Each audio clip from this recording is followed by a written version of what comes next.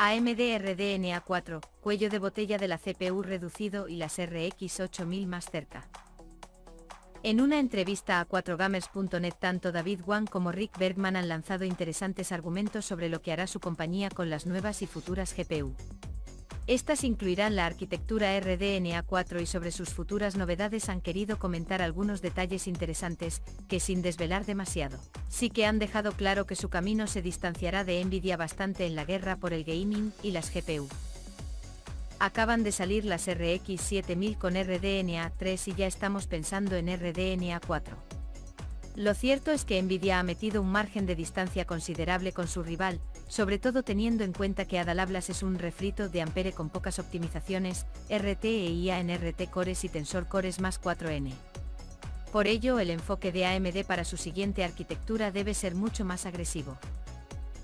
La IA en gaming y el futuro que ve AMD. Nvidia está sacando ventaja de su mejor sistema de IA, tanto en hardware como en software. DLSS 3 y los nuevos Tensor Cores están haciendo daño a AMD. O eso creíamos. Pero según Wang, AMD no está yendo por ese camino, ni lo hará en RDNA 4. En su opinión, la IA se está usando mal en el mercado de escritorio y juegos, todo a pesar de que AMD ha incorporado en RDNA 3 los llamados AI Accelerator, que no son más que unidades pensadas para resolver y acelerar la inferencia de la inteligencia artificial. Es el equivalente a los tensor cores de Nvidia o a las MXM de Intel. Comparados estos con los AI Accelerator resulta que la opción de AMD a misma gama de GPU es ostensiblemente inferior. Tensor Cores en RTX 4080 a 195 flops. MXM en Arca 770 a 138 flops. AI Accelerator en RX 7900 XTX 123 flops. Por ello, AMD no va a superar en ningún momento a sus competidoras en este aspecto, pero es que tampoco lo intenta como tal. Según Wang, el modelo de inferencia actual no debe limitarse a la utilización centrada en el procesamiento de imágenes. El mejor ejemplo lo podemos disfrutar desde hace tiempo y no es más que FSR y sus versiones en comparación con DLSS. El primero no usa un acelerador de inferencia para aumentar el rendimiento y la calidad, el segundo propiedad de Nvidia sí. Por lo tanto, ¿por qué incluye entonces a AMD los AI Accelerator? Según Wang, para lograr que los jugadores se beneficien de unos juegos más avanzados y divertidos, pero ¿cómo? La respuesta llega desde el movimiento y el comportamiento de los enemigos y NPC, pero sobre todo, a un nuevo empuje dentro del sector de los videojuegos como es los llamados gráficos neuronales.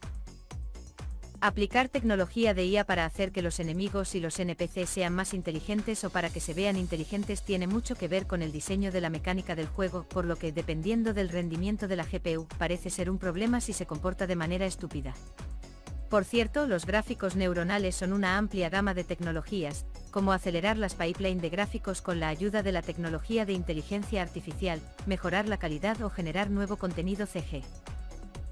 AMD RDNA 4, primeras novedades y enfoque. No hubo demasiado de spoiler sobre la nueva arquitectura, aunque se habló de técnicas como las Primitive Shaders, Mesh Shaders y otras técnicas que se están implementando en sus respectivos avances. Lo más importante con lo que está por venir fueron las declaraciones de Bergman sobre RDNA 4. Actualmente las GPU no paran en PC de evolucionar constantemente, de RDNA1 a RDNA2 y RDNA3, y prometemos evolucionar a RDNA4 con un rendimiento aún mayor en un futuro próximo. Una de las partes que traerá novedades a la vista de lo que dijo Wang es el nuevo Multi-Draw Indirect o MDI que ya integra RDNA3 y que en RDNA4 tendrá múltiples mejoras. Se está estudiando e investigando cómo hacerlo más rápido, porque este va a generar las tareas de procesamiento de los gráficos directamente en la GPU sin la ayuda de la CPU, lo que reducirá el cuello de botella en esta. Lo que se intentará es evitar por completo la transmisión de datos entre la memoria y el procesador, de manera que también se limite el uso del PCIe. No tanto por ancho de banda, que vamos sobrados y más con PCIe 5.0, sino desde el punto de vista de la latencia, principal problema en cualquier PC y más con DDR5 en las velocidades actuales. Para que nos hagamos una idea del apoyo que está recibiendo, en RDNA3 MDI es 2,3 veces más rápido que en RDNA2. Por ello se espera que en las nuevas RX 8000 unidas a las novedades de RDNA 4 logren un rendimiento todavía mejor y la dependencia de la CPU sea cada vez menor, permitiéndola escalar más en FPS gracias a que el trabajo lo terminará haciendo la tarjeta gráfica. Según las declaraciones que hemos visto, ese futuro próximo podría ser a finales del año que viene, o incluso antes, puesto que la brecha con Nvidia ha aumentado. Saludos.